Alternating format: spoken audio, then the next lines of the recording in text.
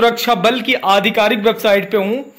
बच्चों, एक चीज़ तो मैंने दिखा दिया आप सभी को, अगर आप लोग यूनिटी है, एकता है तो बहुत कुछ बल है।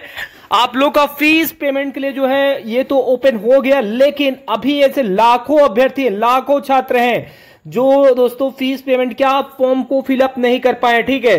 तो उनके अब कॉल्स आने लगे कि सर, हमारा जो है हमारा भी ओपन कराइए, रीओपन दो दिनों के लिए हम हम लोग का भी ओपन हो जाए, हम लोग फॉर्म फिलअप कर पाएँगे, ठीक है? तो बच्चों, सबसे पहले मैं आप सभी को बताना चाहता हूँ, आपको अपनी यूनिटी दिखाना है। आपको सीधे अपने गूगल के ब्राउज़र पे जाना है और वहाँ क्या क्या प्रोसेस करना है प्लीज़ ध्यान से सुनना। 100 परसेंट आप लोग का रीओपन होगा। ठीक है, चलिए गूगल पे। तो यहाँ पर प्लीज़ प्लीज़ आपसे निवेदन करना चाहता हूँ। यहाँ पर आप लोगों को दोस्तों यहाँ पर जाकर कमेंट करना है।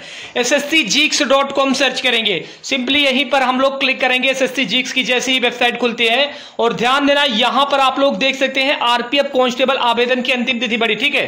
सिंपली यहीं पर हमको क्लिक करना है। और इस आर्टिकल को पूरे दोस्तों ध्यान से पढ़ना है। सारी चीज़ें यहाँ पर बताई गई है, ठीक है?